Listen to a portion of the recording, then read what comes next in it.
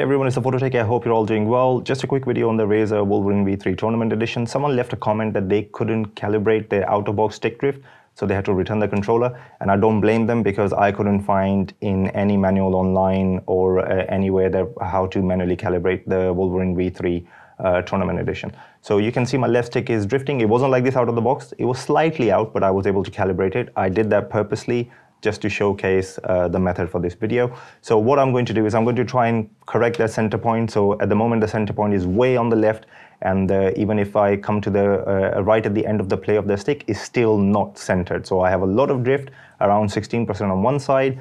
Uh, so to go into manual calibration, uh, we basically, it's like many other controllers.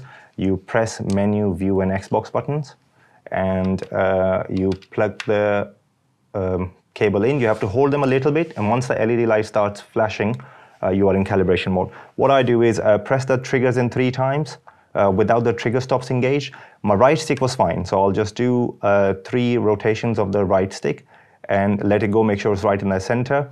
So the same thing for the left stick, uh, I'll do three rotations and let it go, make sure it's in the center. Now, this is important. To come out of the calibration, I have to press down and Y.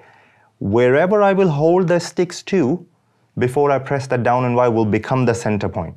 So I have a little bit of a play on the stick, so I'll make sure that it's right in the middle. And now when I press down and Y, and when I restart the controller, you'll see that the stick will be calibrated properly and it's not going to have, uh, it's basically the center point is right in the middle of that play I have. Same thing for the right stick as well. Now, if you have to move, let's say it's really bad and uh, you have very uneven output and stuff, so just uh, check the um, that you have like equal sort of output going on up and down because if you move too much you might have like you know not equal output and stuff going on.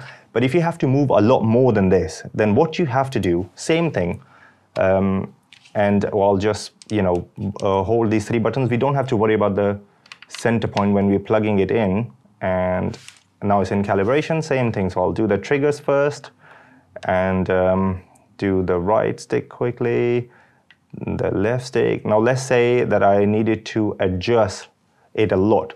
Um, uh, so unfortunately, because we have no visual sort of representation, so you have to hold it um, wherever you want the center point to be. So I'm holding it to the left, or let's say I have to hold it to the right. So I hold it to the right. Now when I press down and Y, that will become the center point, okay? So when I reconnect the controller, you'll see I have a drift on the other side. Um, so you can see the left stick, like, you know, because wherever I held the stick before I pressed down and Y, that became the center point. So thankfully, we have a manual calibration option, which is a huge plus because uh, uh, my Chroma uh, V2, if you've seen my review, I can't use this controller because it has drift towards the top side, like 5, 4, 5%, sometimes even more than that. So that's useless for me. Uh, so this uh, manual calibration option means that these controllers will thankfully be lasting a lot longer uh, than just going out of you know calibration. So when the springs are really loose, we'll be able to bring the center point right to the center. I hope this helps you out. Thanks to everyone who subscribed to the channel. Your support means a lot. Thanks a lot for watching this video. Hopefully, I'll catch you in one of my other videos. Bye for now.